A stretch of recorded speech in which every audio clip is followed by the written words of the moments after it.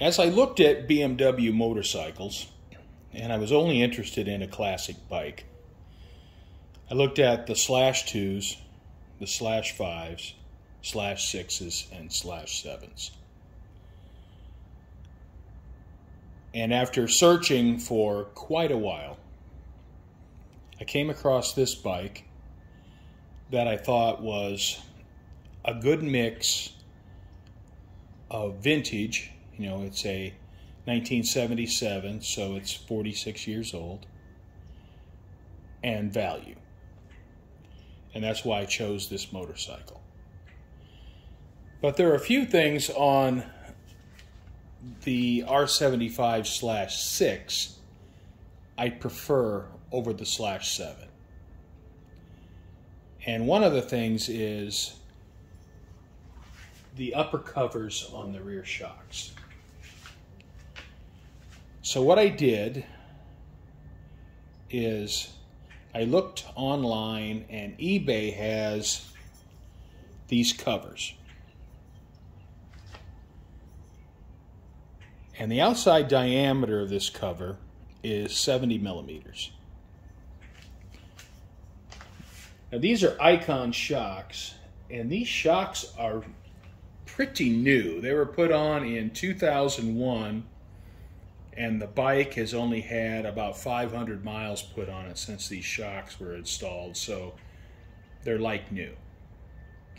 Now I looked on the Ikon website, and the outside diameter of these coils is 63 millimeters. So with that dimension, and knowing that the outside dimension of this upper cover was 70 millimeters, I was pretty confident that the spring was going to fit down inside this.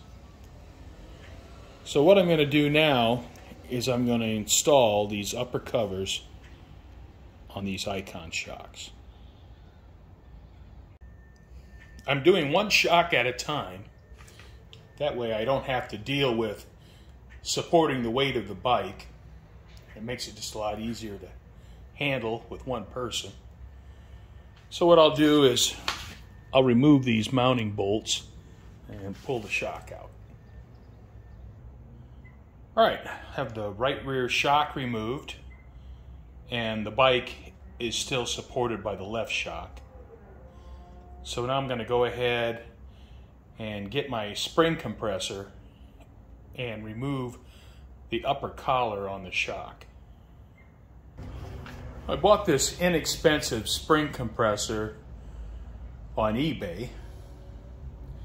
And other than this job, not sure if I'll have a use for it, but I need it for this job because there's no way I'm going to get that collar off this shock without a spring compressor. And I have a couple challenges with this in that I have to attach the spring compressor below the length of this upper cover. So I need to attach the spring compressor at this coil and this coil. Now because I need to grab this spring at such a low point, these arms here are actually too long. So what I've had to do is take this lower bracket, flip it upside down. This, this bracket's actually upside down. But having it the correct way, it would be up here, and then I wouldn't have enough length. So I think with this setup here, I have this much length to draw to pull the spring down.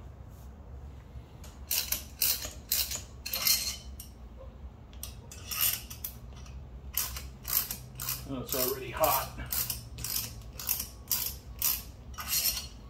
Alrighty. Get this bumper pushed down.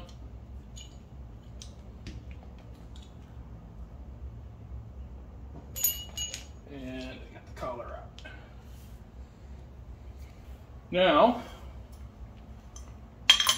slide my cover in place. Put the collar in place. And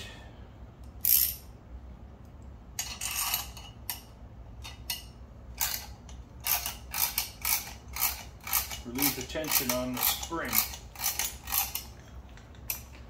want to make sure I keep that up in place.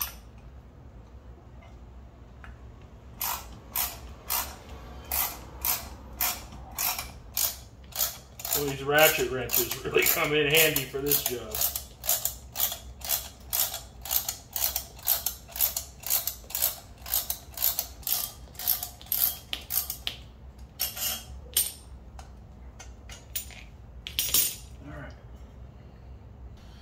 Okay, so I have the decal here on the inside. I have the writing on the inside. I have the split in the collar on the inside. And I have the adjuster on the outside. So I believe this shock is ready to install. And I have modification number one finished. I have the slash six upper shock covers installed. And you know, it's all a matter of taste on what a person likes. They like them or they don't. Personally, I like the styling of the slash six a little bit more than the slash seven. So I'm going to be adding some slash six elements to my bike. But I got the covers installed on the rear shocks and that is the first modification I'm doing to the bike.